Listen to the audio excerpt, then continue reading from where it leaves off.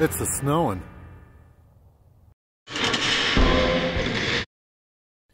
Silver Steeler here. Another coin down by the Snowy River. And it is snowing. Been doing that a lot lately.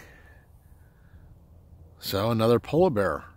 Another one and a half ounce one from the Royal Canadian Mint. A 2015 polar bear and its cub. So yeah, I've been picking up a few of these one and a half ounce rounds, all from the Royal Canadian Mint, a couple polar bear ones, and I think the snowy owl one. I like them, a different kind of weight, not normally found by me anyway. I don't see a lot of them out there also, so it's a different kind of weight that you normally don't see, like the one, the two ounce, the five ounce but they have the one and a half ounce rounds. I think that's the whole reason why I started picking them up. That, knowing winter was coming, knowing I'd probably go down by the river while it was snowing, yeah, like I'm doing right now. Here's the queen. And most of the time, like I've said in all my other videos, I would usually have these out of the flips, but I don't want it to get wet. I'm trying my best not to get them wet right now because Snow's hitting me. If it milk spots, I guess then, you know, is what it is. It's from the Royal Canadian Mint, and these are from a time where they were milk spotting. This one is milk spotted free for now. Let's hope it stays that way in the future. Pretty cool design. It's getting cold.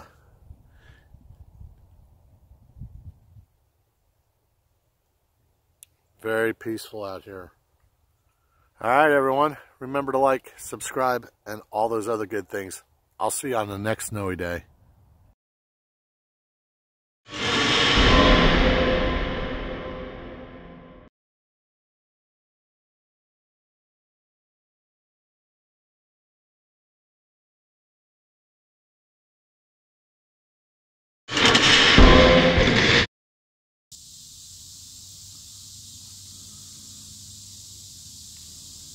Hey everyone, Silver Steeler here. I started a new little series, Coin Down by the River. This gives me a different backdrop, a little bit more peaceful. So anyway, this is the first of that little series here, and that is the 2017 South Korean Chiwoo. It is done by the KOMSCO Mint. Limited mintage on these of 50,000. And uh, this is the second in that series. I've been looking at the 2016. It's around 100 bucks. A lot of money for that first one. No surprise there. Sort of missed out on that one, but uh, I may track it down. Who knows? I'll have to talk to Winning Image and see if that's possible. But I think now that we have three of the four, we're probably going to have to chase it down. Anyway, like I said, limited mintage of 50,000 for these. Um, love the front of it. Of course, the reverse here has the same for all the pieces. So let's take a look at the obverse again here. Yeah, it's pretty cool. Winning Image loves her horses. That's a pretty cool looking one on there. Love the detail of these. These seem to hold their premium quite well. Like I said, for only the second series, this one here ran me 40 bucks. So I guess it will be nice if I got the first one, therefore I'm not chasing them down anymore and I'll just stay up on top of it now whenever the new one comes out. Definitely a lot easier to do that way and you won't be paying the premium like I did on this. Beautiful coin, one ounce, silver. Wasn't it beautiful out here? Like I said, I'm planning on doing a little bit more shooting out here. We'll just take another look at the uh, reverse here.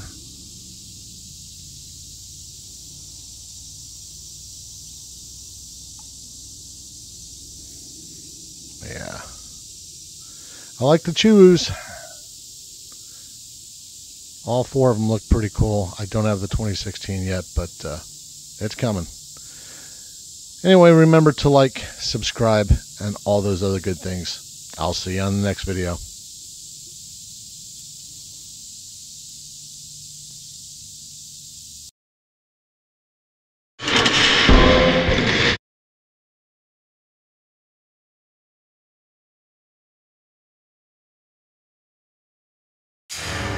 Silver Steeler here. Time for another coin down by the Snowy River. Silver Steeler here. Another snowy day down by the river. That means it's time for another coin. And why not another Canadian coin since it's cold in Canada? Been seeing this commercial on the TV like crazy for these snow owls. You know, the one where you invest something like $5,000 in and you get one and a half ounce silver round for doing it. Uh, okay, yeah. Anyway, no, I didn't bite on the deal. Instead, I went out and found the round that they're talking about because I really like the design. And I wanted one. So now I've got a one and a half ounce Snowy Owl, a 2016 from the Canadian Royal Mint. Features, of course, the Queen on the obverse. It's considered an $8 coin. Pretty cool. I like it. This is still at a time where they were prone to milk spotting. This one right now doesn't have any, and since it's snowing, it stays in the flip for now. Otherwise, I'd have it out. Don't have a holder for this one yet, so I really don't know what I'm going to do with this yet. I don't have a lot of one and a half ounce rounds, but I'm starting to pick a few up, as you've seen in some of my videos. Sort of a different weight that I normally don't collect. I don't know really of a lot of them out there, but every day just watching TV, seeing that Lear Capital commercial for these snowy owls. I just wanted one. You know how it is when you collect silver. You see something on TV or whatever, and you see the price they're charging for it, and you're like, ah, I could go out and get that much cheaper. So I did. Oh, wow. Yeah, it's really coming down right now. Whew. Some of that landed on me. Pretty cool out here. Another different area to take a coin out in a different time of the year. Snow and cold don't bother me or I wouldn't have lived in this state for as long as I have. But I really like that snowy owl. I like the fact that its wings are in a downward motion. Different because most of the time you see it the other way. And it's got the little privy mark on there. The 2016 one and a half ounce round from the Canadian Royal Mint down by the Snowy River.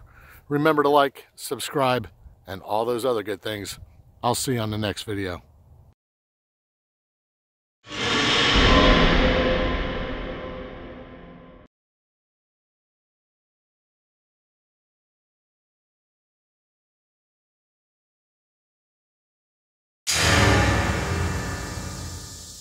Time for some chew.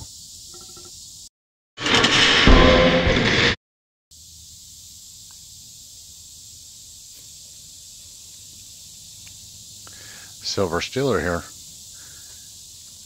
Uh, here I've got the 2019 South Korean Chiwoo.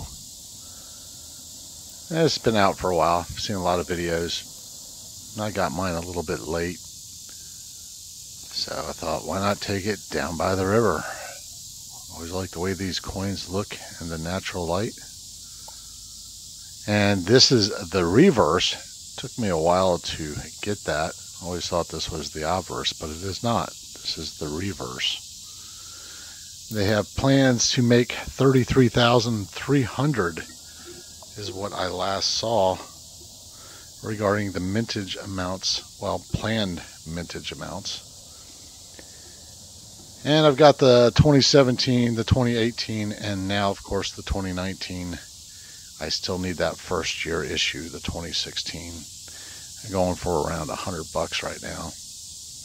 So for now I wait. Maybe I can pick that one up on eBay a little cheaper. But picking these up right when they come out is definitely and usually the cheapest way to go. And here's the obverse. That would be the shield that their soldiers use. Eh, all four versions have this side, same design. On the obverse, of course, it's got a little security detail on the bottom there. Sort of like their little watermark or security mark. Yeah, not my favorite one of the four so far. I think I like the one on the horse better. I think that's the 2018. And I don't really have the 2016 of you. I've seen pictures of it. It does look pretty good too. So I have to hold one in hand first to really make my determination on which one I like the best. This isn't bad. Anyway, remember to like, subscribe, and all those other good things. I'll see you on the next video.